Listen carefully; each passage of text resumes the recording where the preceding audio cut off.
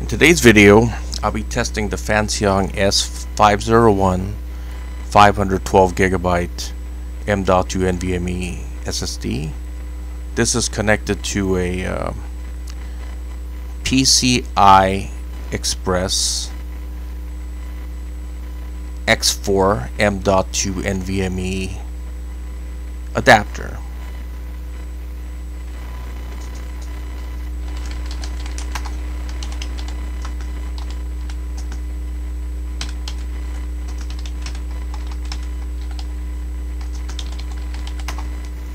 I'll show you the adapter and how it looks like. I made videos on it before. It looks something like something like this. I'll leave uh, the link for the video that I made about it in the video descriptions below. It will also be on the video cards in the top right corner and at the end of the video as well.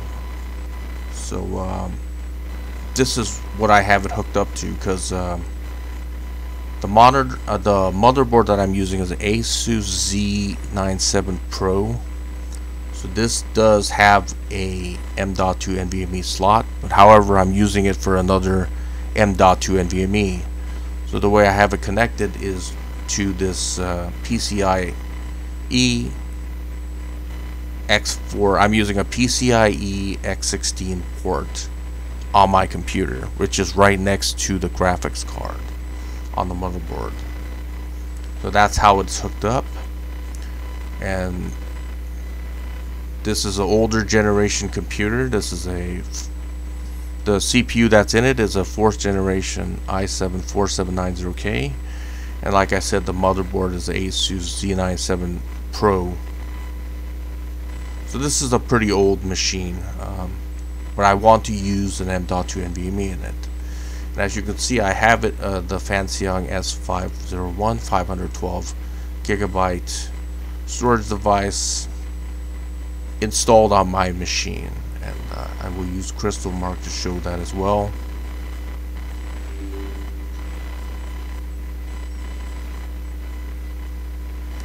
Here it is, Fanxiang S501 512 gigabyte 512.1 gigabyte M.2 NVMe. This one has a heatsink fan on it, so it's running pretty cool at 32 degrees Celsius, which is a pretty low temperature. And uh, I will be testing it out with Crystal Mark. This is iDrive. Let's see what the read speed is. I'll be testing it three times and getting an average of it.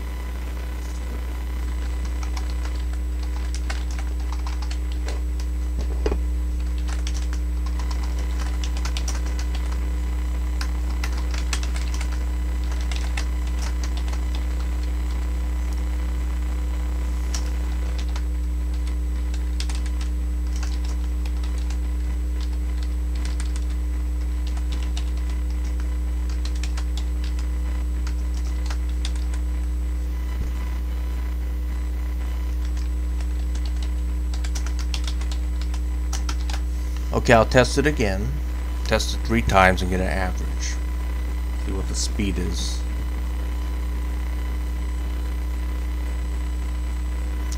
So it claims that it could do 2.15 megabytes per second. That's 2.15 gigabytes per second.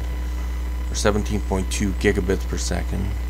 For the write, it's 1600 megabytes per second or 1.6 gigabytes per second Um, or 12.8 gigabits per second. Okay.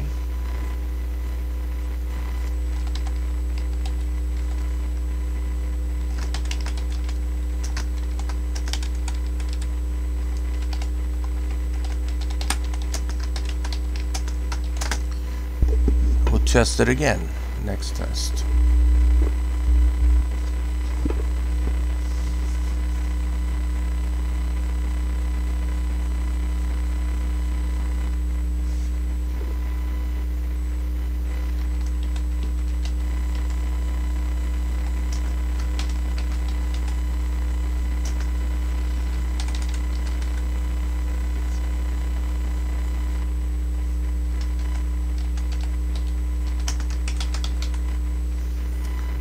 Okay, so that's that's what I got. That's the scores that I got.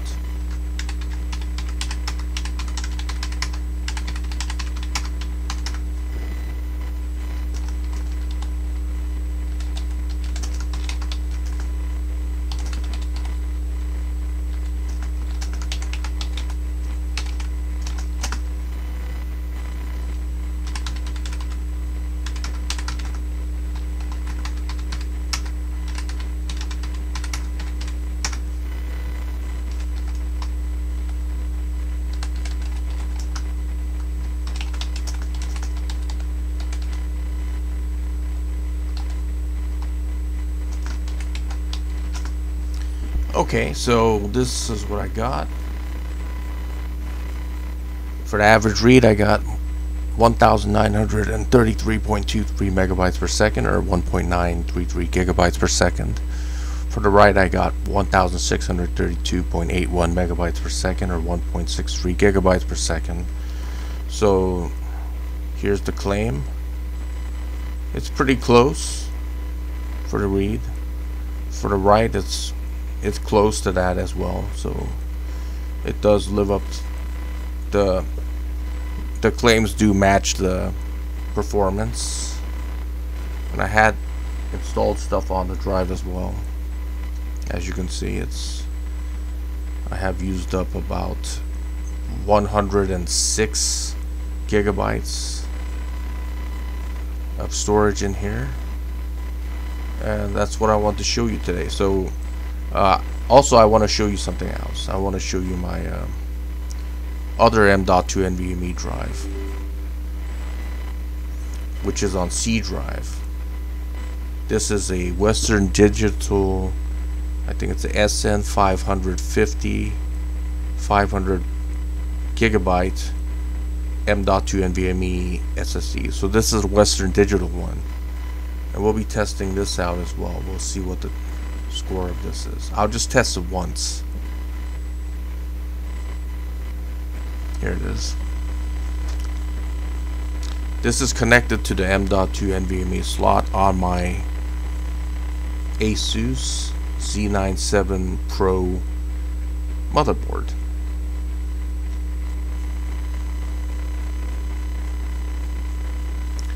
I was able to use M.2 NVMe after I updated the BIOS. If you want to know how to do that, I'll leave this in the video, video descriptions below as well. So you see that is considerably slower than connecting it to a PCIe Express port.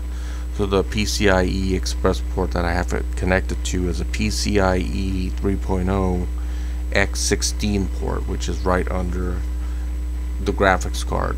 So the graphics card port is also capable of PCIe 3.0 by 16 as well.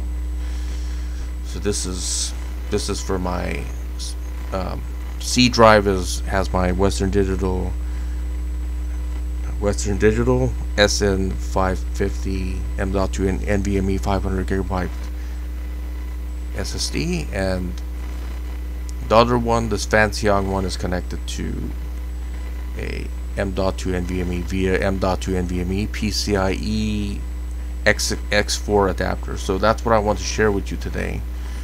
If you would like to know where you can get yours, then I'll leave it in the video descriptions below. And thank you for watching.